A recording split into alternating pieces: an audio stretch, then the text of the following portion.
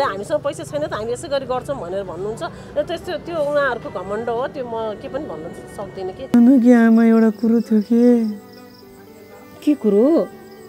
यो असारमा त जसरी पनि जुन किर्लाई भित्राउनु पर्छ कि ढिला भइसक्यो। जुठेमा अहिले मैले अब एउटा भूमिका निभाएको छु होइन जुठेको क्यारेक्टर जुठेको आमाको क्यारेक्टरमा निभाएको छु भने त्यही सेम चाहिँ अर्को ठाउँमा गएर गर्न पाइँदैन। पैसा पाइनँ मलाई दिएन भन्ने चाहिँ किनभने अहिले धेरै फ्रीमा पनि खेलिराख्नु भएको छ त्यो मलाई थाहा छ। अनि गएर दुःख दिने काम त गर्नु भएन नि कसैले दिनभरि टाइम दिएर फर्काएर मैले गएर गर्नु परेको छ काम। त्यसरी धोका हुन्छ नि त उनीहरूलाई पनि।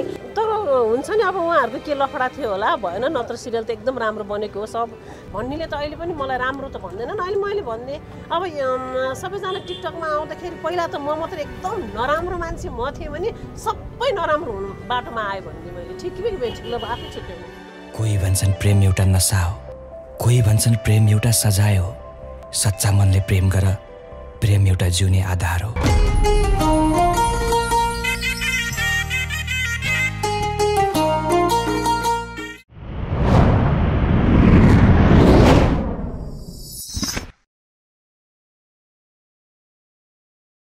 हामीसँग बेला विद्या कार्की हुनुहुन्छ उहाँसँग कुराकानी तपाईँमाझ प्रस्तुत गर्दैछौँ। दिजु नमस्कार।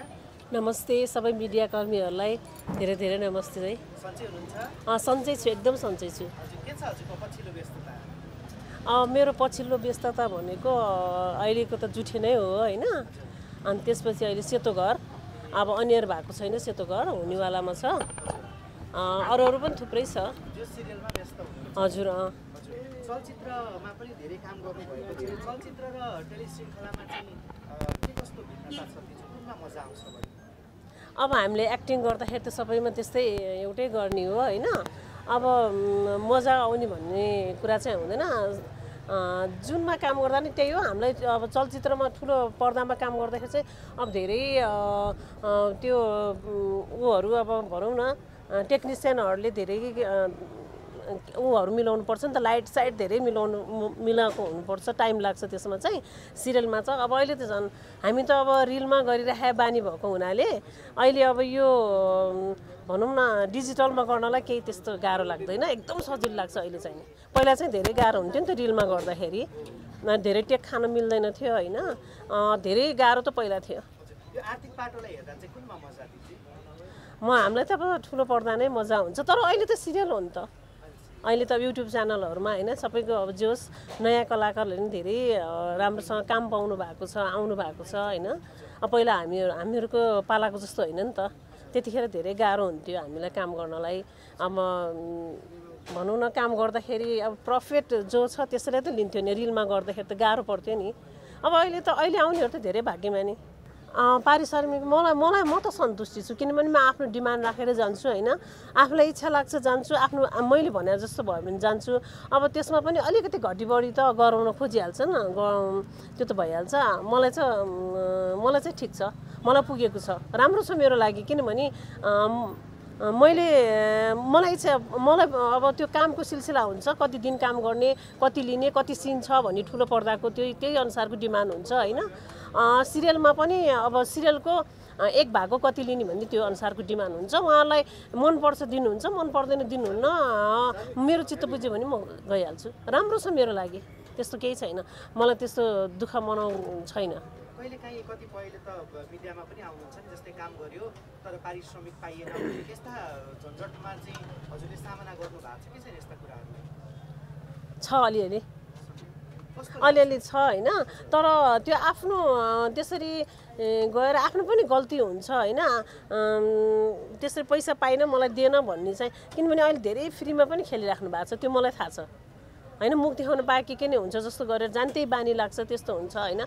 सबै सिकेर आउनु पऱ्यो नयाँलाई अब केही पनि नथाहा न क्यामेरा भनेको के हो भन्ने नै थाहा नपाउनेहरू गएपछि त कसरी हुन्छ भन्नु न।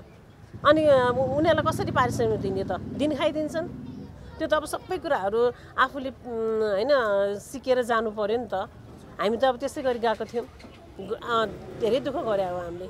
होइन कहिले कहिले फाइटहरूको सिनहरूमा पनि हामीले अलिकति अनुभव गऱ्यौँ एक्टिङमा गऱ्यौँ डान्समा गऱ्यौँ स्टेप चाहिन्छ। अनि गएर दुःख दिने काम त गर्नु भएन नि। कसैले दिनभरि टाइम दिएर फर्काएर मैले गएर गर्नु परेको छ काम। त्यसरी धोका हुन्छ नि त उनीहरूलाई पनि। एउटा सेटेलाइट फिल्ममा एक दिनमा भएन भने चालिस पचास हजार चाहिँ नि घाटा लाग्छ। अनि अहिले आएर अब पैसा दिँदैन भन्ने त त्यो जसको त्यो मूर्ख हो उनीहरू आफूमा केही पनि छैन भने त अनि कसरी दिने त ल भन्नु। त्यो हुन्छ नि त। हामीलाई लगेर त हामीलाई त फरक पर्दैन। कसै कसैको त नियत बसै हुन्छ नि त्यस्तालाई चाहिँ अथवा त्यस्ता व्यक्तिहरू तपाईँले पाउनु भएको छ कि छैन? यदि पाउनु भएको छ भने त्यो पैसा उठाउनलाई कस्ता कदम चाल्नुभयो? त्यस्तो त्यस्तो धेरै कदम नै चाल्नु परेन म के गरौँ यसरी जाउँ भनेर अब एक दुईवटा लफडामा त परिहालिन्छ त्यो त भइहाल्छ त्यस्तो कुरा होइन? तर त्यसरी आफ्नो हातमाथि भएपछि त किन डर दिनु परिहाल्छ नि होइन? त्यसरी चाहिँ गएको छु। त्यस्तो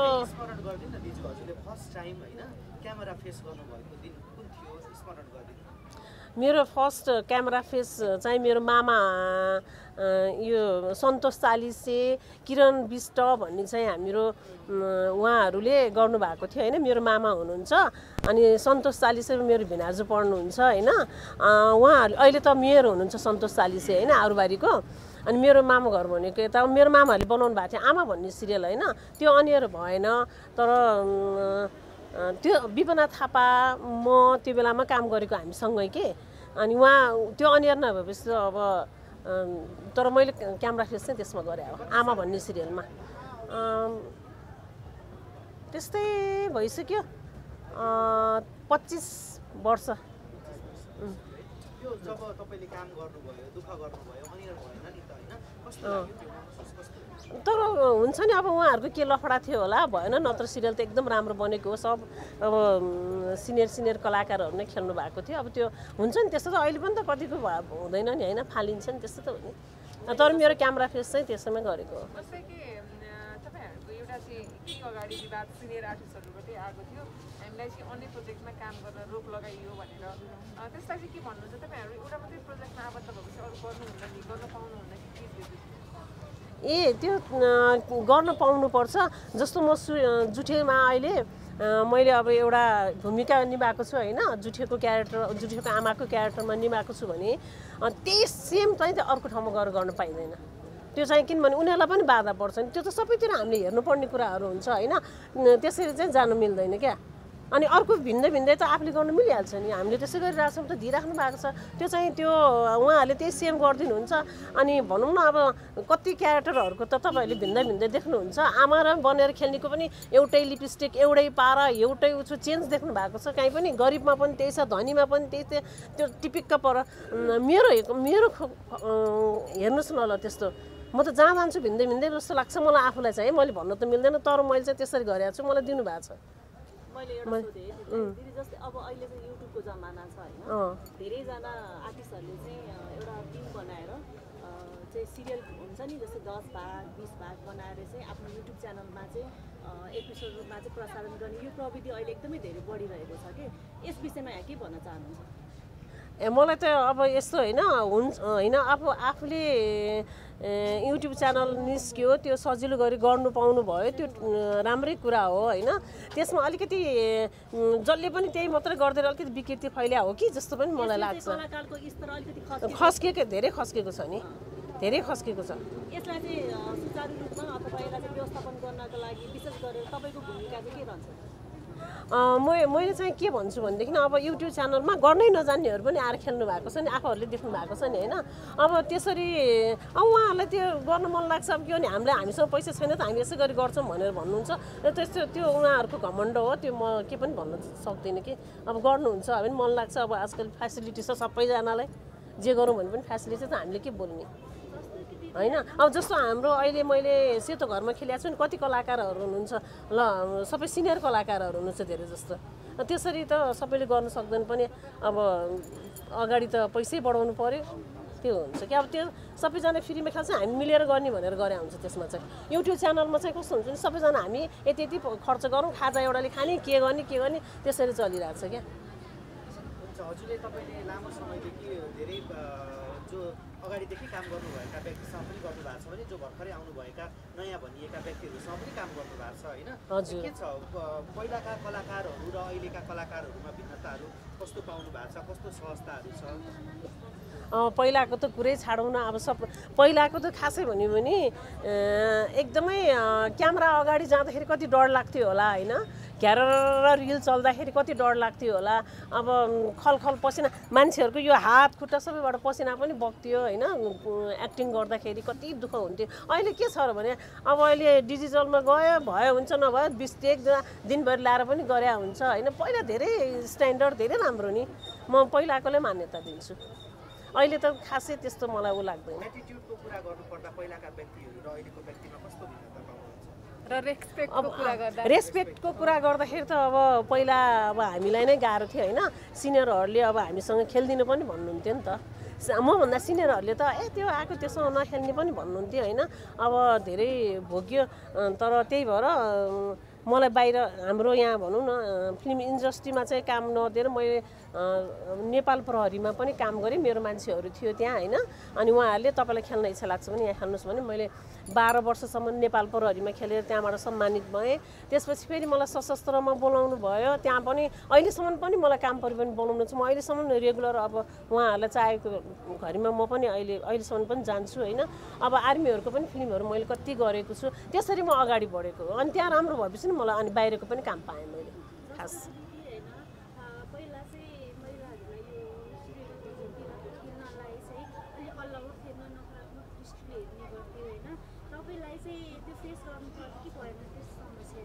म्याक्सिमम् भयो नि त्यो त। त्यसको त कुरा गरेर साध्य छैन। अहिले पनि छ हाम्रो।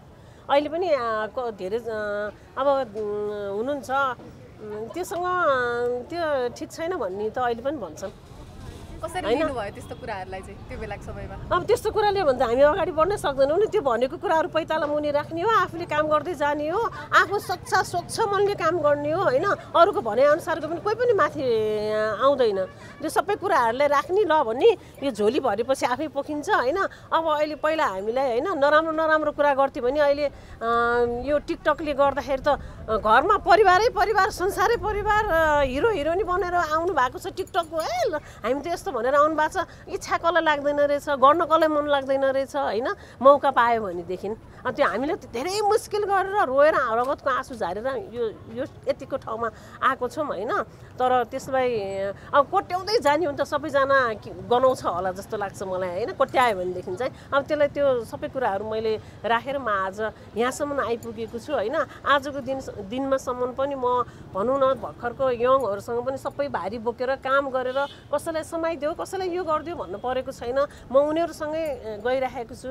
आज होइन साठी बासठी वर्षको उमेरमा पनि म यङ जस्तो भएर काम गरिरहेको छु कि? अब त्यो कसैले भनिहाल्छ भने त ए त्यसले भन्यो भने रोएर बस्ने होइन। देखाउँछु म तँलाई भनेर इख लिएर गर्ने। आफू राम्रो बाटोमा हिँड्यो भनेदेखि कसैले पनि केही गर्न सक्दैन। जब हामी गलत त्यो गलतमा किन सोच्ने? आफूमा यति राम्रो हात खुट्टा दिएको छ भगवान्ले होइन? आफू काम गर्ने किन गलत सोच्ने? गलत सोच्नु पर्ने कुनै आवश्यकता पनि छैन।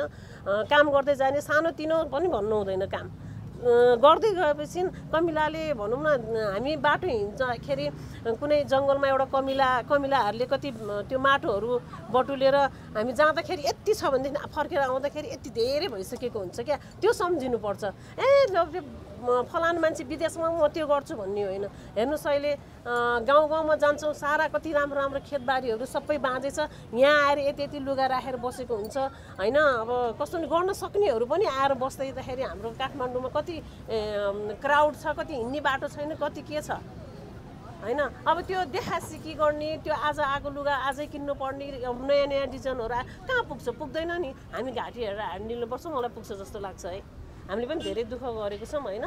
अहिले पनि मलाई जति हेर्नुहुन्छ तपाईँहरूले होइन भनौँ न अब म एकदम सिम्पल तरिकाले बसेको छु। मेरो कुनै हाइफाई यस्तो केही पनि छैन होइन? जति भने पनि अब भन्नेले त अहिले पनि मलाई राम्रो त भन्दैनन्। अहिले मैले भनिदिएँ अब सबैजना टिकटकमा आउँदाखेरि पहिला त म मात्र एकदम नराम्रो मान्छे म थिएँ भने सबै नराम्रो हुनु बाटोमा आयो भने मैले। ठिक कि बेठिक ल आफै छुट्याउनुहोस्। मैले पनि भन्नु नि मौका त पाएँ नि। म यो भन्छु क्या। चित्त त दुखिहाल्छ नि। अब म तर त्यस्तो त्यस्तो भनिनँ। म आज त्यो भनेको बाटो गए कहाँ आउनु सक्थेँ? भन्नु न अब तपाईँहरूले नै मूल्याङ्कन गर्न सक्नुहुन्छ मलाई होइन?